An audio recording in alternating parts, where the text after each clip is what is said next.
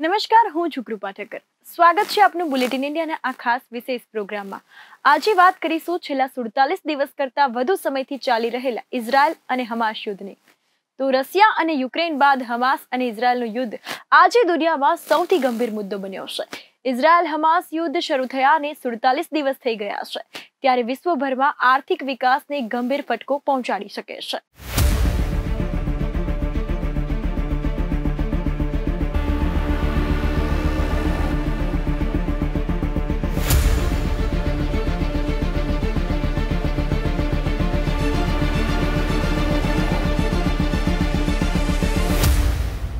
Israel Hamas યુદ્ધના સુડતાલીસ દિવસ બાદ આખરે યુદ્ધ વિરામ થયો છે. જેના કારણે થોડા દિવસ માટે ગાઝામાં તોપો અને ફાઇટર જેટના અવાજો બંધ થઈ જશે. ઇઝરાયલે હમાસ સાથેના યુદ્ધમાં યુદ્ધ વિરામને મંજૂરી આપી છે. બદલામાં હમાસ પચાસ ઇઝરાયેલી બંધકોને મુક્ત કરશે. જોકે હમાસ અને ઇઝરાયલ વચ્ચે ચાલી રહેલા આ યુદ્ધના કારણે અત્યાર સુધી મોટી સંખ્યામાં લોકોના મોત નીપજ્યા છે. જ્યારે ઘણી ઇમારતોને નુકસાન થયું છે. જેના કારણે અનેક લોકો ગાઝા છોડવા મજબૂર બન્યા છે. એટલું જ નહીં, આ યુદ્ધ વિશ્વભરમાં આર્થિક વિકાસને ગંભીર ફટકો પહોંચાડી શકે છે.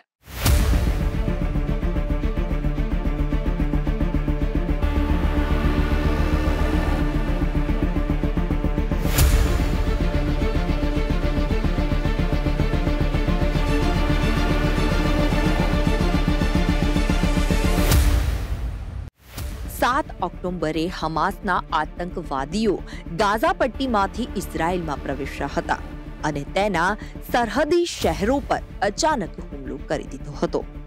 આ હુમલામાં લગભગ બસો થી વધુ લોકોને બંધક બનાવી અને તેમણે ગાઝામાં કેદ કરી દીધા હતા. હમાસના હુમલા બાદ ઇઝરાયેલે પણ જવાબી કાર્યવાહી શરૂ કરી દીધી. આ સ્થિતિ ભવિષ્યના અનેક પડકારોને જન્મ આપી રહી હોય તેવું લાગી રહ્યું છે. જેમાં નરસંહારની સાથે સામાન્ય લોકો પણ માર્યા ગયા છે અને ઘણું નુકસાન થઈ રહ્યું છે.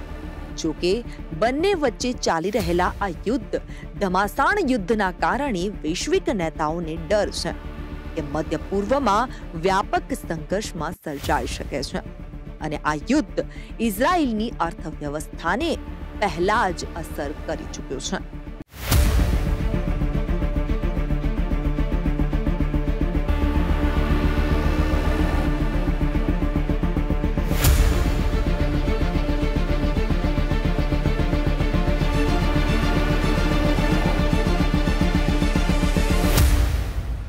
ઇઝરાયલ તથા હમાસ વચ્ચેના સંઘર્ષની અસર ક્રૂડ બજાર પર જોવા મળી નથી અને વોર પ્રીમિયમના બદલે ડિસ્કાઉન્ટ જેવી સ્થિતિ સર્જાય છે.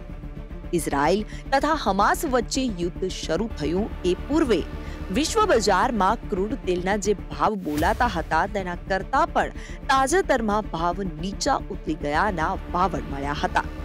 ઇઝરાયલ હમાસના સંઘર્ષ છતાં વૈશ્વિક સ્તરે ક્રૂડ તેલના પુરવઠા પર તથા હેરફેર પર કોઈ પ્રતિકૂળ અસર જણાઈ નથી.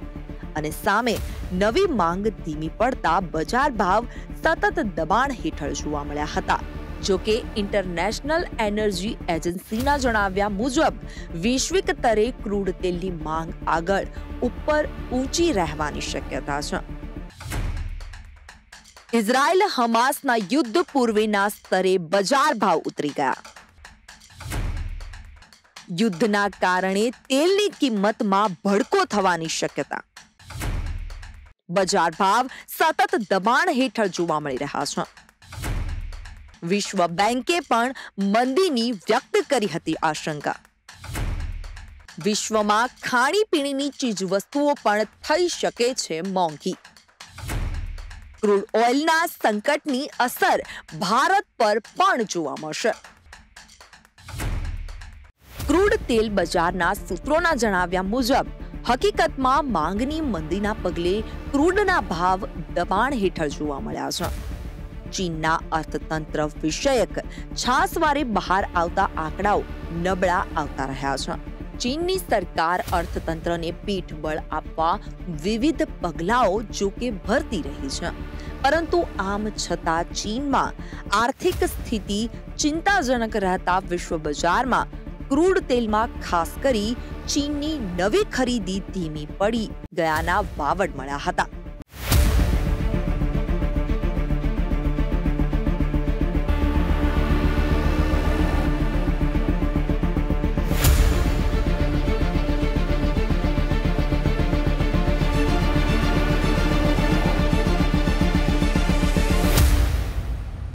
વિશ્વ બેંકે પણ આશંકા વ્યક્ત કરતા જણાવ્યું હતું કે ઇઝરાયલ અને હમાસ વચ્ચે યુદ્ધ કરશે તો ખનિજ તેલની કિંમતોમાં જબરદસ્ત વધારો થઈ શકે છે.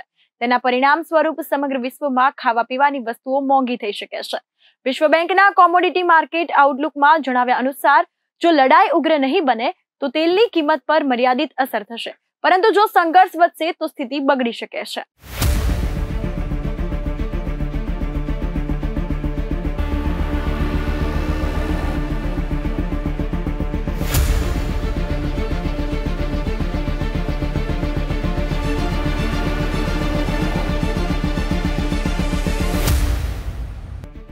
યુદ્ધની શરૂઆતથી તેલના ભાવમાં લગભગ છ ટકા વધારો થયો છે. યુદ્ધની સ્થિતિમાં જેની કિંમત વધે છે તે સોનું વિશ્વ બેંક અનુસાર લગભગ આઠ ટકા ઉછળ્યું છે. કેટલાક વિશ્લેષકોને શંકા છે કે યુએસ તેલની અછતનો સામનો કરી શકે છે. કારણ કે યુએસ તેલનું ઉત્પાદન સર્વકાલીન ઉચ્ચ સ્તરે છે. સાથે જ આ યુદ્ધ ભારતીય અર્થતંત્ર માટે ઘણા ગંભીર પરિણામો પણ લાવી શકે છે. આ યુદ્ધને કારણે પશ્ચિમ એશિયાના અશાંત વાતાવરણ છે, જે કાચા તેલની કિંમતો માટે ખૂબ જ ખતરનાક સાબિત થવા જઈ રહ્યો છે. જેના કારણે પેટ્રોલ, ડીઝલના ભાવમાં વધારો થવાની સંભાવના છે. આ ઉપરાંત યુદ્ધ તેના સિવાય પણ ભારતને પણ ઘણી રીતે નુકસાન પહોંચાડી શકે છે.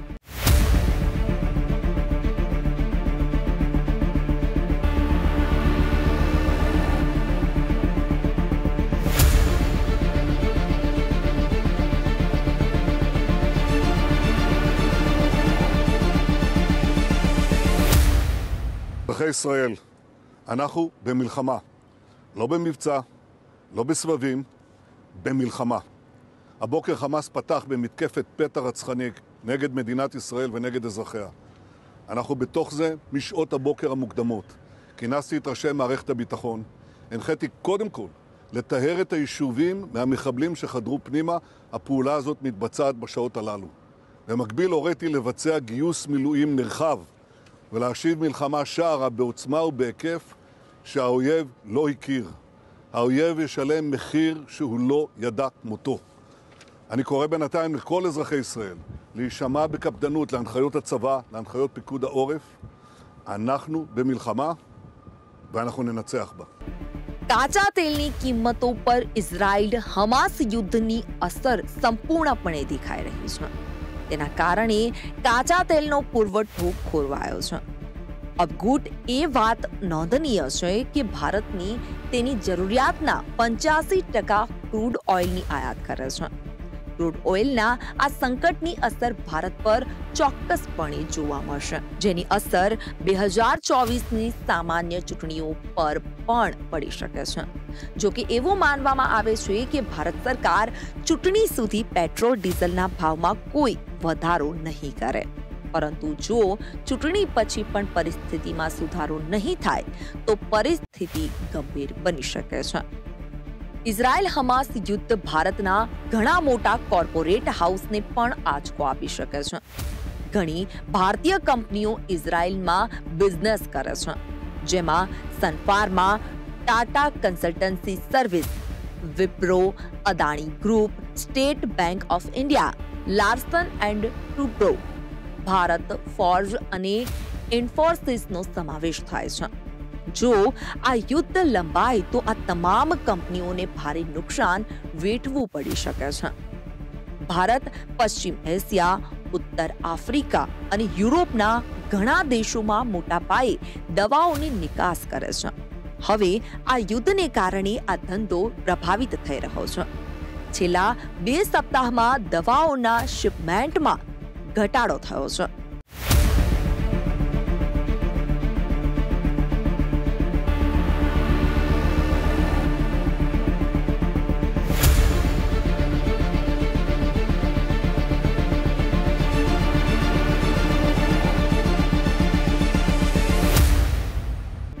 રૂપિયા અને ડોલર વચ્ચેના સંબંધને કારણે ભારતને નિકાસમાં ફાયદો થાય છે.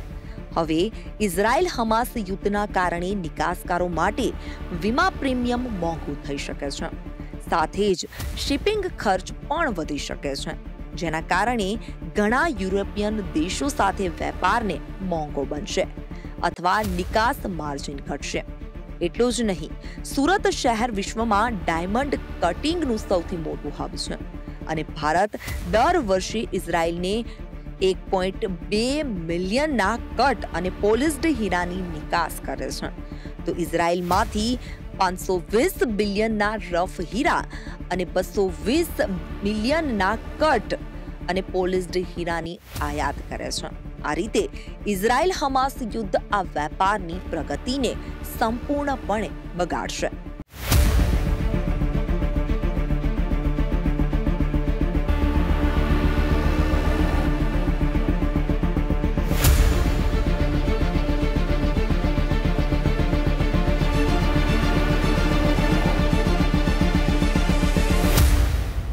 હાલ ભલે થોડા દિવસ માટે ઇઝરાયલ અને હમાસ વચ્ચે યુદ્ધ વિરામ થયું છે જોકે ઇઝરાયલ હમાસ સામે તેનું યુદ્ધ આગામી દિવસોમાં ચાલુ રાખશે તેવું ઇઝરાયેલી વડાપ્રધાને જણાવ્યું હતું.